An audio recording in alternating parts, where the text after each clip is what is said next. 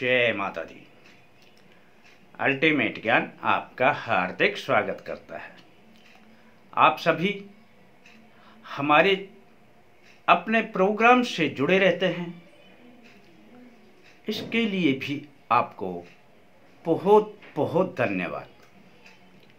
माता रानी सदा आपको खुश रखे। माँ से आप सभी के लिए प्रार्थना करते हैं। दोस्तों, कई बार हम पूजा पाठ करते हैं या बाहर जाते हैं तो इन दो कामों में खास तौर से सुरक्षा कवच की आवश्यकता होती है।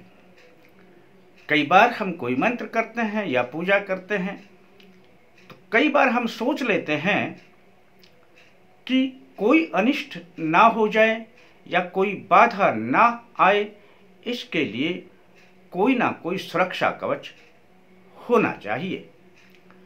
तब आपके लिए आज हम पक्का सुरक्षा कवच बताएँगे। पक्का सुरक्षा कवच हनुमान जी का। आप यदि लगाकर बैठते हैं, किसी भी प्रकार की पूजा करते हैं, तब आपको कोई भी दिक्कत नहीं आएगी और आपकी पूजा सफल होगी। इसी प्रकार से आप यदि घर से बाहर जा रहे हैं और आपका कोई ऐसा काम जो किसी की वजह से रुका हुआ है, एक तरीके से उसे आप अपना शत्रु ही मानिए। अब वह काम निकलवाने के लिए या कोई शत्रु आपका नुकसान ना पहुँचाए, इसके लिए आपके हर प्रकार की सुरक्षा के लिए आप जा रहे हैं, आप वाहन से जा रहे हैं, सुरक्षित घर लौट करके आए। इसके लिए आप अपने घर से ही सुरक्षा कवच हनुमान जी का लगा करके चले। कोई दिक्कत ही नहीं आएगी। आपकी यात्रा भी सफल होगी और आपके कार्य भी सारे बनेंगे और किसी भी प्रकार की रास्ते में कोई नकारात्मक चीज़ें होंगी, वह भी आपके साथ नहीं लगेंगी।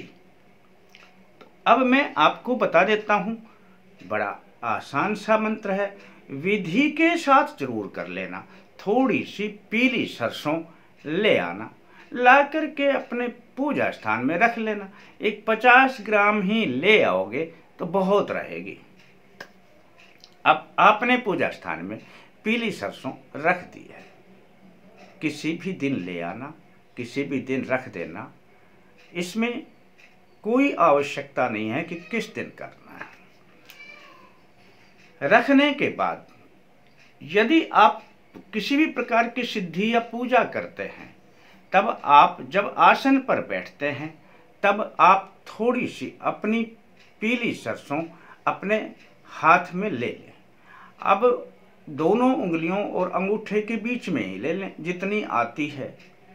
अब इनके बीच में लेने के पश्चात आपने इसे क्लोकवाइज घुमाना है। जैसे घड़ी चलती है, ऐसे उस पीली सरसों को घुमाते हुए थोड़े थोड़े छोड़ना है। दो दो चार चार दाने छोड़ते रहना।